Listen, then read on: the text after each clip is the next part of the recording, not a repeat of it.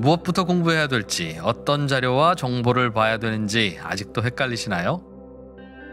포스트 코로나 시대에 방황하는 20대부터 본업에서도 투자에서도 성과를 내고 싶은 30대, 노후를 준비하는 40대, 50대까지 주식 투자의 세계에 입문하신 분들을 위해서 3프로TV가 준비했습니다. 3프로TV 주식대학 봄학기 초보 투자자들의 멘토 연블리의 친절한 주식 기초 교육 어떤 기업이 돈을 잘 벌고 있는지 확인하는 법부터 증권사 리포트, 기술적 분석을 통해서 수익을 내는 법까지 염블리, 염승원 부장과 함께 한 발자국씩 나아가면서 평생 투자의 기초를 탄탄하게 다지는 시간이 될 겁니다. 3프로TV가 염블리의 친절한 주식 기초 교육과 함께 여러분의 성공 투자를 응원하겠습니다. 영상 아래 링크를 통해서 강의를 신청하실 수 있습니다. 네, 드디어 또 아, 염탐, 염블리탐이 왔습니다. 우리 증시 개장 상황까지 우리 이제 초초저 처음 별명으로 좀 돌아갈까? 염블리 너무 많이 한 것 같아. 염탐정. 아 그러니까 증시, 증시 염탐정이었는데 네. 우리 염블리 염탐 참 별명도 진짜 많으세요. 예. 염승원 부장님 어서 오십시오. 네 안녕하세요. 네, 어서 오세요. 반갑습니다. 뭐 굉장히 핫하신 우리 염승원 부장님. 자 이제 에, 오늘 조금 시간이 좀 늦었네요. 네. 음, 조금 한번 가볼까요 그러면? 그래도 그 오늘 그 전기차 이슈가 좀 큰 것 같아요. 그러니까요. 아, 어떻게 되는 거예요? 폭스바겐. 예. 네? 일단 보고서 몇 개를 그냥 한번 쭉그 프린트를 해놨는데 아, 네. 관련 보고서 좀 나왔습니까? 많이 나왔어요. 뭐 거의 전 증권사 다 나왔다고 보시면 다 되고요. 빨리 빨리 썼겠지. 예. 일단은 뭐 악재는 맞는 것 같아요. 왜냐하면 네. 이제 이 폭스바겐의 LG하고 SK가 이제 배터리를 납품하고 있는데 파우치형이라고 아까 말씀해 주셨잖아요. 네. 그걸 이제 각형으로 바꾸는데 일단 이제 한국투자증권에서도 이제 나온 보고서를 좀 요약을 해드리면 일단 이제 LG하고 SK 쪽엔 좀 부정적이다. 왜냐하면 이제 그 2025년부터 한국 이제 2차 전지 업체들의 점유율이 하락할 것으로 예상을 하고 있고요. 그러니까 2025년까지는 일단 어느 정도 수주도 확보돼 있고 네. 그 폭스바겐이 뭐 그때까지는 늘, 뭐 크게 늘리는 건 아니거든요. 근데 그 후로 2020 아마 6년부터 이제 본격적으로 그러니까요. 이 각형 배터리 쪽으로 이제 늘리는 방향이니까 음. 네. 당장 영향은 없어요. 사실 몇 년간 영향은 없는데 네. 향후에 어쨌든 이제 그 후에 2030년까지 그림으로 봤을 때는 25년 이후부터는 지금 이 상태가 유지가 되면은 파우치형을 만드는 기업들한테는 좀 악재가 될 수밖에 없다. 이렇게 보시면 좋겠고 반면에 소재 업체들한테는 또 좋다는 얘기도 좀 있습니다. 왜냐하면 이제 이미 유럽 쪽에 진출해 있는 소재 업체들 같은 경우 네. 또 폭스바겐이나 뭐 노스볼트에도 납품하는 기업들이 있거든요. 음. 그런 기업들 같은 경우 오히려 좀 호재가 될 수도 있다는 얘기도 있으니까 네. 일단은 소재 업체 쪽에는 좀 너무 LG, SK 비중이 높은 회사한테 좀 부정적이지만 좀 다변화된 기업들한테는 괜찮다 이렇게 적어주셨고 메리츠 증권의 이제 주민우 연구원님도 이제 보고서를 좀 적어 주셨는데 일단은 이제 2030년까지 전 차종의 80%에 한마디로 unified cell이라고 하는데 아무튼 이게 뭐 소재가 중요한 건 아니에요. 뭐 여기에 LFP가 들어가고 뭐 NCM이든 양극재 소재는 크게 의미가 없고 네. 이제 규격화된 각형으로 가겠다. 이걸 뭐 CATL이 하는 것도 아니고 일단은 그 자체 내재화하는 거죠. 노스볼트. 음. 노스볼트를 그 계열사라고 네, 봐야죠. 네, 계열사라고 봐야 됩니다. 근데 사실 거길 좀 무시했었거든요. 왜냐하면 그러니까. 아직까지는 뭐 경쟁이 안 된다. 네. 근데 일단 뭐 돈의 힘으로 좀 하겠죠. 예, 그래서 폭스바겐하고 지분 투자를 해가지고 아마 2026년부터는 좀 본격적으로 생산을 아니, 할 것으로 그게 좀 우리가 보여지고요. 진입 장벽에 대해서 얘기할 때 네. 아니 돈 테슬라도 뭐 돈이 없, 없는데도 아닌데 네. 그거 안 된다. 그 안전성 때문에. 음. 근데 노스볼트라고 사실 우리 입장에서는 사실 듣보잡아니에요. 예, 그죠. 존재감이 별로 네. 없어요 아직은. 아니 그러니까 네. 근데 순위도 저 밑에 있고 거의 음. 뭐 신생업체나 마찬가지라고 생각하는데 여기에다가 뭐 14조 딱 주문 네. 주고 이게 가능한 거예요? 그러니까 일단 이게 그러니까 지금 만약에 기술력이 있으면 지금 당장이라도 했겠죠. 네. 근데 이게 지금 아직 5년 후예요. 5년 후부터 이제 본격적으로 네. 공급이 증가하는 그림이니까 네. 어떻게 보면 아직 좀 시간은 남아 있는데 이제 그때까지 계속 기술 개발을 하겠죠. 음. 예, 아무래도 근데 각형적으로 좀 방향을 잡았고 중요한 포인트는 결국 뭐냐면은 이제 내재화하겠다는 거죠. 폭스바겐은 음. 자기네가 직접 해버리겠다. 네. 이게 이제 좀 배터리 업체들한테는 조금 음. 아쉬울 수밖에 없는 상황인데 그러니까 다만 4, 5년의 그림을 봤을 때는 뭐 네. 크게 나빠지는 건 아니고 그리고 사실 또 어떤 변화가 생길지 몰라요. 이 배터리라는 게 또. 예, 그 안에 또 이게 갑자기 뭐 전고체가 확저 네. 시장 할 수도 있는 거 아닙니까? 근데 이제 그 이 폭스바겐이 이렇게 하려는 이유 중에 하나는 네. 전고체 배터리로 가겠다는 것 같더라고요. 아? 이 각형 모양으로 해가지고 최종 완성품은 이제 전고체죠. 아. 예. 근데 전고체가 뭐 물론 지금 당장 쉬운 건 아니거든요. 네네네. 근데 어쨌든 이쪽에 대한 이제 투자를 좀 본격적으로 해가지고 한번 각형 배터리 쪽으로 전고체까지 가는 그런 음. 그림으로 보시면 돼요. 너무 근데 긴 여정이라서 네네. 참 이게 어떤 식으로 좀 작용할지는 좀 어렵고 또 그 과정에서 LG와 SK가 또 사실 뭐 그런 보고서도 있더라고요. LG와 SK가 좀 이제 서로 좀 안 좋잖아요. 지금 합의가 안 된 거. 네. 근데 둘다 폭스바겐이 지금 납품하고 있거든요. 그러니까 아, 그래. 폭스바겐 입장에서는 좀 불편할 수도 있는 거죠. 사실 이 부분. 그것도 지금 아. 유예받은 2년 2년치가 딱 예. 거기에 떨어지니까 예. SK가 음. ITC에서 지난 2년 네. 동안만 그럼 니네 팔아라 이렇게 돼, 된 네, 거잖아요. 맞아요. 그 딱 그그 시간이하고 또 예. 물리니까. 예. 그러니까 또 그런 것도 영향을 뭐 줬다라는 뭐 그런 보고서도 있긴 있는데, 근데 뭐 복합적으로 좀 작용한 것 같습니다. 그래서 일단 그냥 정리를 좀 해드리면, 네. 뭐 너무 많으니까 다 얘기 못 해드리지만 일단 노스볼트의 경쟁력을 키우고 이제 2026년부터 이제 본격적으로 그쪽 점유율이 올라가고 LG하고 SK까지는 이제 우리나라 기업들 같은 경우 2025년까지는 괜찮은데 네. 2026년부터는 이제 점유율은 떨어질 수 있다는 거. 음. 두 회사 다 지금 일단 일단 개장 전 5%대 하락으로 나오는데 네. 음. 그러니까 일단 LG 뭐 화학, SK 이노베이션 다. 그리고 삼성 SDI는 각형을 하거든요. 네. 그래서 뭐 수혜를 받을 거란 얘기도 있는데 삼성에 대한 뭐 언급은 일단 없었다고 좀 보시면 좋을 것 같습니다. 그리고 네. 폭스바겐이 이제 자체로 간다면 테슬라는 약간 같이 지금 협업하는 그림이잖아요. 어떻게 보면 LG나 CATL이나. 네. 근데 현대차가 어떤 포지션을 가져갈지도 음. 좀 봐야 될 것 같아요. 현대차는 지금 협업이거든요. 네. 자체 배터리 안 하는데 폭스바겐이 저런 식으로 가면은 테슬라하고 현대 그러니까 현대 기아차는 또 어떤 그림으로 갈지도 좀 지켜봐야 될 것 같습니다. 네. 아무튼 아직은 뭐 첫날이라 뭐 주가는 당연히 안 좋게 반응할 텐데 조금 상황은 좀 지켜봐야 될것 장. 시작됐습니다. 네. 자, 현재 지금 지수는 그래도 오늘 좀 10포인트 정도 강세로 시작을 할 것 같습니다. 그 코스피 쪽에서 지금 뭐 2차 전지 쪽은 좀 안 좋지만 일단 그 반도체가 오늘 출발 좋고요. 반도체 또 삼성 바이오로직스가 오늘 오랜만에 한 1%, 한 2% 네. 가까이 음. 좀 상승세 보이고 있고 삼성전자도 좀 올랐습니다. 대한항공이 2.3%인데 이제 어제 미국에서 항공주가 좀 많이 올라서 음. 오늘 영향 받는 것 같고요. 삼성전기가 한 2%, 또 SK 바이오팜 하이닉스가 한 2% 가까이 올랐습니다. 그리고 네. 삼성 SDI는 아무래도 각형이잖아요. 그래서 좀 기대감이 있는 것 같아요. 1.7% 올랐습니다. 반대로. 그리고 그 어제 조선주가 좋았는데 오늘도 조선주는 조금 강세를 좀 보이고 있고 역시 가장 많이 빠지는 쪽은 SK 이노베이션하고 LG화학이 각각 한 4% 정도씩. 근데 여러분들 염두에 두실 게 이게 사실 이제 뭐 저번에 테슬라 배터리 day도 좀 그랬지만 뭐 안 좋은 건 사실이죠. 예, 단기적으로는 좀 주가에 좀 부정적인데 사실은 아직은 좀 너무 먼 여정이라서 아, 또좀 상황을 좀 지켜보셔야 될것 day들을 이렇게 많이 해. 빼빼로 day도 있고 day 할 그렇잖아요. 때마다 우리한테 뭐가 안 예, 좋으니까만 그때 테슬라 배터리 day 할 때. 그러니까 그때도 그랬잖아. 그때도 아주 난리가 났죠. 자, 우리도 좀 하지. 뭐. 예. 네? 우리도 좀 했으면 좋겠는데. 자 그리고 이제 또 코스피 쪽에서 특징주 또 말씀을 해드리면 오늘 코오롱 인더가 좀 증권사 보고서 좀 잘 나와서 한 4% 정도 올랐고요. 항공주인 아시아나항공도 한 2% 정도 올랐습니다. 그리고 건설회사들도 어제부터 좀 건설회사들이 조금 기대감이 좀 있어서 그런지 그 주가가 좀 오르기 시작했는데 오늘도 뭐 HDC 현대산업개발이 한 1% 정도 네. 상승을 해줬고요.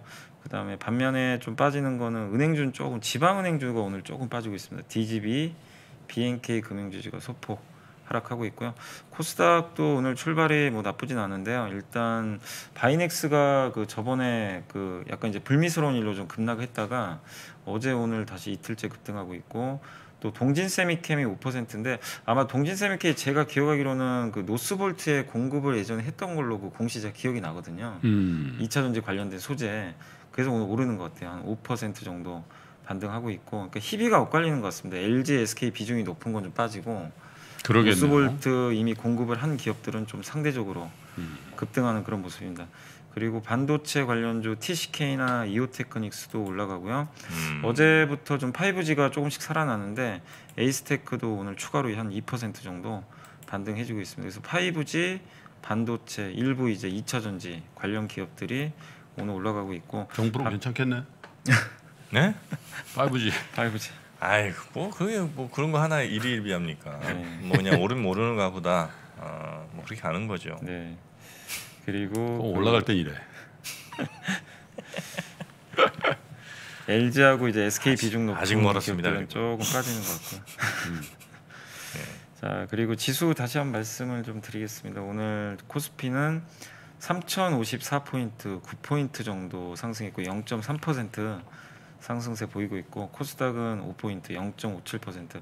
최근에 한국 증시는 그 미국 증시가 뭐 크게 오르거나 내리거나 좀 큰 영향 안 받는 것 같아요. 일단은 좀 어제도 그렇지만 굉장히 안정적으로 움직임이 나오지고 있는 것 같습니다. 개인 투자자분들이 어제도 많이 샀는데 오늘도 양시장 합쳐서 한 800억 정도 순매수 들어왔고요. 외국인 투자자들은 지금 오늘 한 300억 정도 일단 소폭 매도하고 있습니다. 그리고 네. 어제 뭐 기관 투자자 중에서 연기금이 52일 만에 처음 샀다고 하더라고요. 음. 예, 그래서 거기에 대해서 뭐 일시적이다, 뭐 계속 살 수 있다 이런 얘기들은 나오는데 조금 지켜보실 필요는 있을 것 같고요. 연기금 여기 수급에는 좀 그것도 좀 들어가 있거든요. 그 예전에 우정사업본부라고 우정사업 예, 프로그램 매매하는 네. 그게 여기 같이 들어가 있어요. 그래서 약간은 연기금 100% 수급은 좀 사실 아니니까 그건 좀 체크를 해봐야 될 것 같습니다. 네.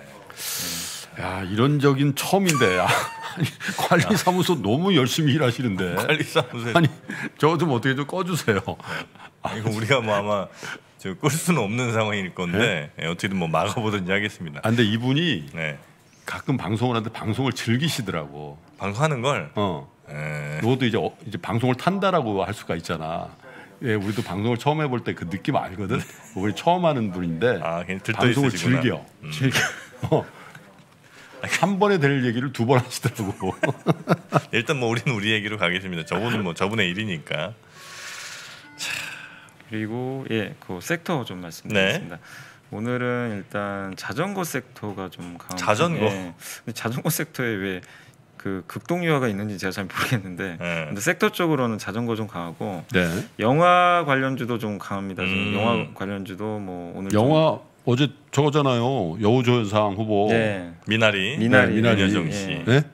그게 요새 뭐 아주 아, 아니 근데 그것도 여우조연상도 안 받는 것도 웃기는 거 아니야? 왜냐면 상을 뭐 30몇 개를 tas는데 아, 다른 상들을 딴, 딴, 네. 딴 상을 다 탔는데 그것만 오스카상만 안, 안 네. 줘. 그것도 이상. 그것도 이상한 거 아니야? 음, 아니 뭐또 곧 나오기 좋은 결과 나오겠죠. 음. 네. 아 극장도 제가 한번 물렸던 업종이네요. 극장이요. 네. 네. 코로나 때 자, 그렇게 영화 관련주도 그렇게 힘들 줄 몰랐어. 요 네.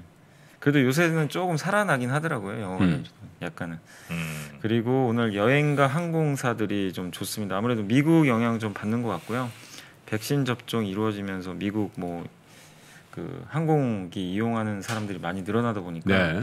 한국에서도 영향을 좀 받는 것 같습니다. 그리고 이게 이제 황사 대규모 황사 좀 우려감이 좀 있더라고요. 어제 베이징 시내에서 미세먼지가 어마어마하더라고요. 아. 네, 그래서 한국에 또 올 수도 있기 때문에 좀 그쪽 관련된 기업들은 좀 강한 것 같고 반도체 대표주가 최근에 좀 되게 부진했는데 오늘은 좀 오랜만에 하이닉스 삼성전자도 좀 좋은 모습이고 그다음에 자동차 쪽에서는 오늘 그막 부품주가 좀 괜찮습니다. 만도, 현대위아. 근데 반면에 어제 급등했던 기아차는 좀 빠지는데 네. 어제 기아차가 EV6란 이제 자동차 공개했잖아요. 아 공개했습니까? 네, 어제 공개했습니다. 아, 네, 그 이슈가 다. 좀안 됐지? 근데 약간 뭐 그렇게 뭐 근데 어쨌든 주가는 어제 좋았어요. 주가는 한 3% 정도. 음, 네, 그것 때문에 좀 반등했습니다. 그리고 건설주도 오늘 좀 괜찮고 뭐 음원 관련주 이런 쪽도 오늘 조금 약간 이제 반등하면서 전체적인 분위기는 뭐 나쁘지 않다. 다만 오늘은 2차 전지만 좀 안 좋죠. 2차 전지 섹터는 뭐 일단 예고는 돼 있었던 거죠. 어제 저녁부터. 그래서 SK 이노베이션이 한 4%, LG 화학이 마이너스 한 5% 정도 일단 하락하면서 2차 전지 섹터가 좀 빠지고 은행주 일부 빠지고 그리고 그 외에는 대부분 다 지금 상승하는 그런 음. 흐름으로 좀 보시면 좋을 것 같습니다. 네. 전반적으로 뭐 급등 급락이 멈춰지는 그 구간이라고 계속 인식이 되네요. 네. 음. 네. 그러니까 되게 장이 좀 차분하게 움직이고 있어서 괜찮은 것 같아요. 음. 이런 식으로 점진적으로 올라가는 것도 괜찮은 것 같습니다. 음. 그렇죠. 급등락은 일단 좀한 네. 일주일 동안 거의 멈춰 지난주가 되게 심했죠. 지난주. 맞아요. 예. 자 그러면 준비해 주신 내용 또 한번 어, 네. 가보도록 하겠습니다. 예, 일단 이제 그 뭐 전기차 이슈가 좀 뭐 기사 나온 거 있는데 이건 이제 전기차하고 수소차 관련된 얘기인데 뉴스인데 네. 전기차하고 수소차가 뭐 전기차가 압도적으로 이길 거다 이런 얘기도 있고 곧 같이 공존할 거다. 근데 지금 현 상황은 사실 전기차가 압도적으로 많잖아요. 수소차에 비해서는.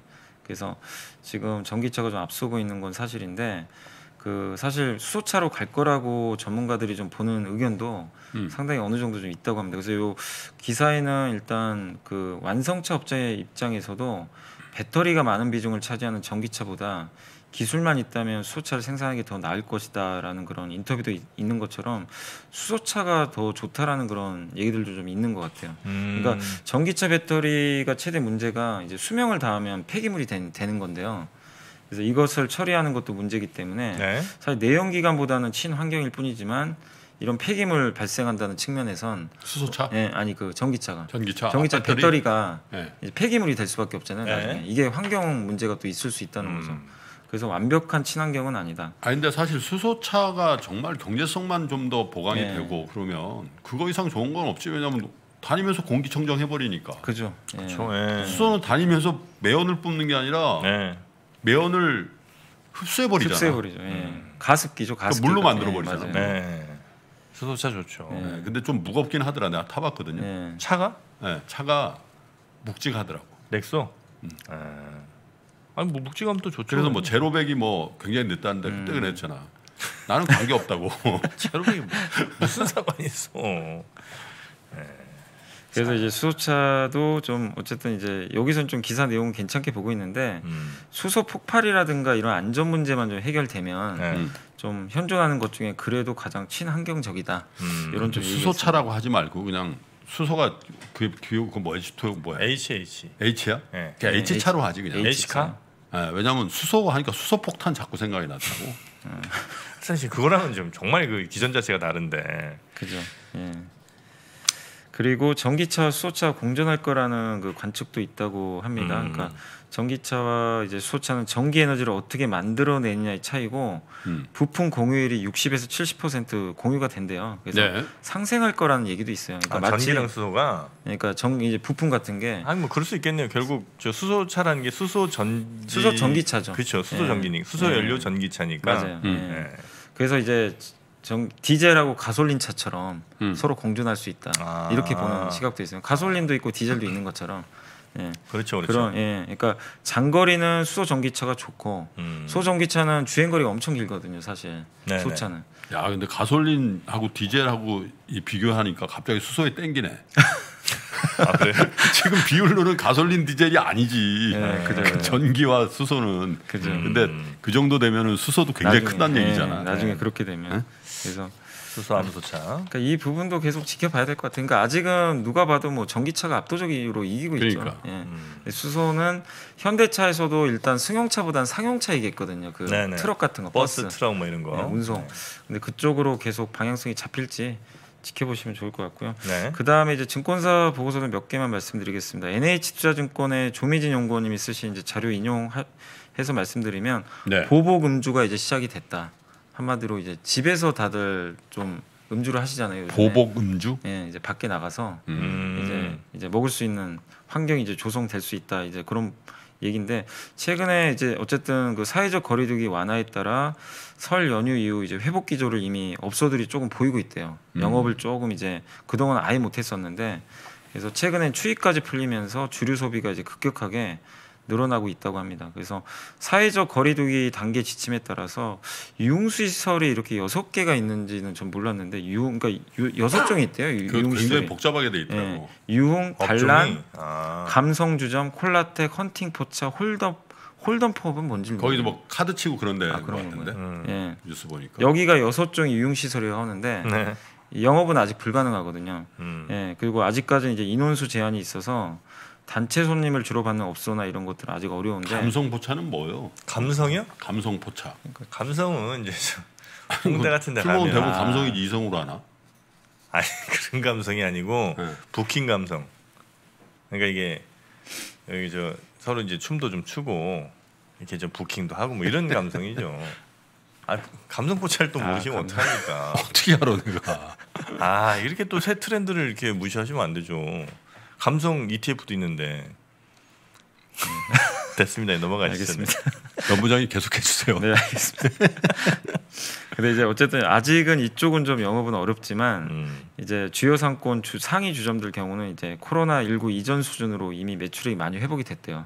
그래서 연말과 연초 극도로 침체됐던 이제 주류 소비가 점진적으로 회복될 수 있기 때문에 사실 이제 주류 시장과 관련해서도 그동안 되게 좀 부진한 건 사실인데 음. 한번 좀 관심을 좀 가져보자. 어쨌든 올해는 조금 작년보다는 좋아질 수 있다는 그림으로 한번 생각을 해주시면 좋을 것 같고요. 네. 그 하나금융투자의 박성봉 애널리스트가 이제 글로벌 철강사들 최근에 좀 주가가 네. 급등하고 있는데 그 의미를 좀 적어주셨는데 US Steel 이제 미국에 있는 이제 기업이죠 주가가 최근에 33% 급등을 했더라고요.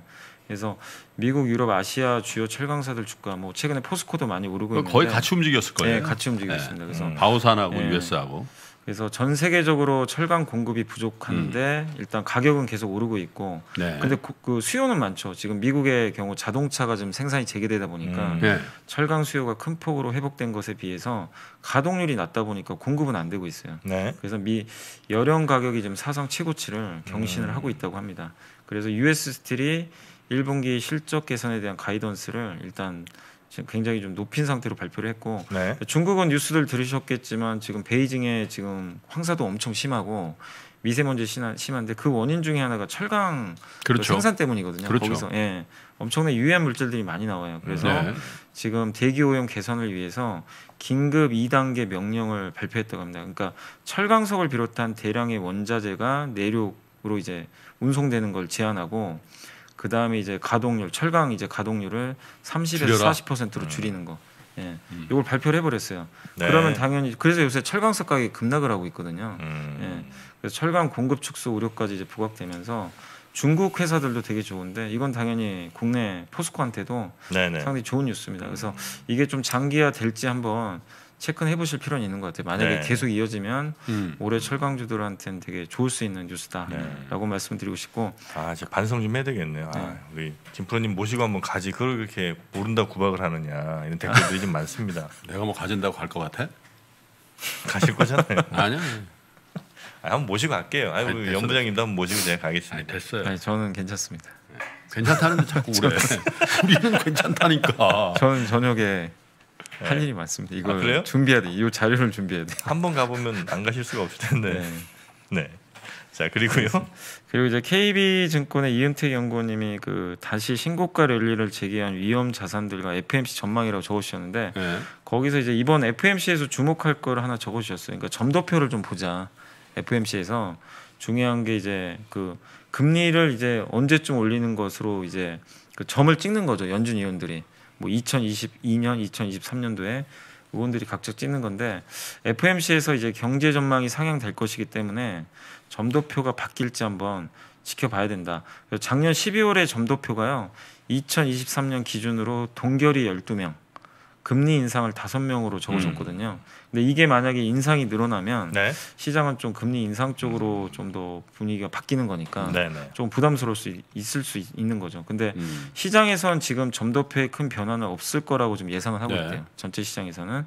근데 이제 지난주 어쨌든 유럽 증시가 신고가를 돌파하는 와중에 유럽 중앙은행이 자산 매입 속도를 높이기로 했는데 네. 이게 장기 금리 상승이 경제에 악영향을 미친다는 이유 때문인데 음. 미국 증시도 일단 신고가를 재개했지만 연준이 당장 매파적으로 그러니까 연준이 뭐 금리 인상을 좀 용인하는 쪽으로 네. 바뀌진 않을 것 같다. 어쨌든 유럽의 스탠스를 봤을 때는 음. 그래서 기대를 하고 있- 있다라고 좀 적어주셨는데 어쨌든 이제 내일 있을 FMC 회의에서 그 점도표 어떻게 찍히는지 한번 네. 좀 주목하시면 좋을 것 같고요. 그 다음에 그그 요건 SK증권 이호성 연구원이 이번 주 금요일 날 나오시는 것 같더라고요 보니까. 네. 근데 이제 보고서를 어제 좀 써주신 게 있는데 음. 쿠팡 때문에 어제, 어제 쿠팡 얘기하셔가지고 어제 이제 얘기를 안 했는데 쿠팡이 쏜 대포라고 이제 밸류에이션과 매크로 관점에서의 의미인데요. 사실 이제 쿠팡이 지금 100조 원 정도 가치를 받고 있잖아요. 네. 근데 이제 사실은 우리 국내 투자 입장에서는 너무 비싸다는 얘기들도 좀 많이 음. 나올 정도로 좀 과한 거 아니냐는 얘기도 있는데 네. 일단 이제 어떻게 좀 비유를 하셨냐면 그 이제 이효성 연구원은 매우 큰 가치가 있다고 생각을 했고요. 과거 중세 시대의 성의 존재가 의미가 없어진 것은 이제 대포가 발명된 이후였다고 합니다. 음. 그러니까 대포가 발명되면서 성이 의미가 없는 거죠. 그냥 대포 쏴서 성 망가뜨리면 음. 되는 거니까 기, 못 기어올르게 하는 게 의미가 네, 의미가. 없어져 버린 네. 거예요. 대포가 발명되면 그 그런 의미에서 PER과 PBR 같은 전통적인 valuation이라는 그 성안에서 아. 투자하고 있는 그러니까 국내 투자들은 어떻게 보면 약간 성안에서 지금 투자하고 있다. 약간 이제 어. 그런 비유를 좀 적어주시고 하셨는데, 그러니까 너무 전통적인 valuation의 이제 잣대로 보면 그 국내 투자자들에게 쿠팡은 대포와도 같은 거다 이거죠. 그 음. valuation 다 깨버렸다는 거죠. 음. 그러니까 PER, PBR로는 이게 가치 평가 안 되잖아요 지금 네. 적자 기업이니까. 음. 그래서 글로벌 투자자들이 쿠팡을 통해서 기존의 valuation 방법론의 한계에서 벗어날 필요가 있다는 이 얘기를 해준 게 아닌가 이렇게 좀 하긴 적어주셨어요. 좀 어리둥절하지. 예, 음. 어리둥절한 거지. 예, 네. 사실 이, 그죠. 이게 뭐야 이거. 예. 그러니까 저도 백조라는 건 저도 아직도 좀좀 어? 상상이 안 가거든요, 진짜 쿠팡이. 근데 어쨌든 전 가장 효율적인 시장이 뉴욕 stock 예, 뉴욕. stock exchange거든. 네. 거기 그걸 버블이라고 얘기하기가 좀 애매한. 네. 이게 무슨 신흥국 시장이고 뭐 저기 뭐 거래도 없는 그 시장이 아니고 네. 전 세계에서 거래 제일 많이 되고 네. 선수들 제일 많이 모여서 거래하는 데서 100조 딱 퍼트를 한 어마어마한 거니까 예. 그걸 우리 입장에서 야 이거 버블이라고 우리가 네. 거기 보내놓고서 예. 그것도 좀 이상하긴 예. 하네. 그래서 이효성 연구원은 그래서 쿠팡을 대포라고 비유를 한 것 같아요.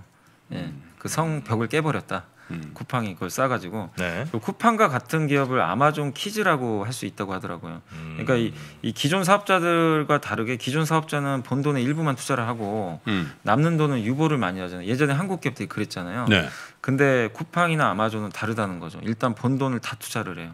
그러니까 그 사람에 비유하면 몸을 사리지 않고 그냥 으스러질 때까지 음. 일하는 사람 같은. 그러니까 투자를 다 하는 거죠. 그러니까 적자를 내면서까지 투자를 하는데 그러면서 소비자들은 되게 좋은 거죠. 가격을 그러니까 아마존도 마찬가지로 가격을 엄청 낮춰버렸잖아요. 쿠팡은 로켓 배송 해 버리고 이게 적자잖아요, 사실은. 음. 그렇죠. 엄청난 적자인데 소비자는 되게 좋아할 수밖에 없는. 그래서 파괴적 혁신을 하고 있는데 이런 기업들이 많아지면 디플레이로 갈 수밖에 없다는 거죠. 네. 음. 왜냐하면 이 가격을 낮춰버리니까. 예. 그래서 인플레 로션 논란이 크지만 이런 기업들이 만드는 그 디플레 압력도 너무 크니까 일단은 지금 쉽게 그 디플레다 인플레다 결론은 좀 나지 않을 것 같다. 네. 이렇게 좀 얘기를 해주셨습니다. 그래서 음. 좀 참고하시면 좀 좋을 것 같습니다. 네. 네. 자, 그러면 오늘은 이 정도로 우리 네, 오늘은, 부장님과 네. 함께 마무리하도록 하겠습니다. 우리 이번 주가 살짝 기대가 됩니다. 연부장님 이번 주 기대 좀 해도 되겠죠? 네, 뭐 증시는 이번 주 네. 그 제가 이제 좋게 보는 게 금리가 좀 어쨌든 요동을 쳤거든요. 네, 네. 쳤는데도 증시가 많이 안정감 찾고 있어서 음, 시장 분위기는 좀 괜찮게 알겠습니다. 흘러갈 것 같습니다. 자, 오늘 함께 해주신 우리 연불리 염승환 부장님 대단히 고맙습니다. 네, 감사합니다. 감사합니다. 매달 월급처럼 따박따박 배당을 받는 ETF 그리고 1년 사이에 10배가 오른 테슬라 미국 시장에 상장을 준비하는 쿠팡까지 소식은 많이 들리지만 미국 주식 투자를 시작하기에 아직은 어색하신가요? 포스트 코로나 시대에 방황하는 20대부터 본업에서도 투자에서도 성과를 내고 싶은 30대 노후를 준비하는 40대 50대까지 미국 주식의 세계에 입문하신 분들을 위해서 3프로TV가 준비했습니다. 3프로TV 주식대학 봄학기. 미국 주식에 미치다 장우석과 이항영의 미국 주식 완전 정복. 미국 시장의 제도, 특징, 세금부터 기업의 가치 분석, 포트폴리오 유망 종목까지.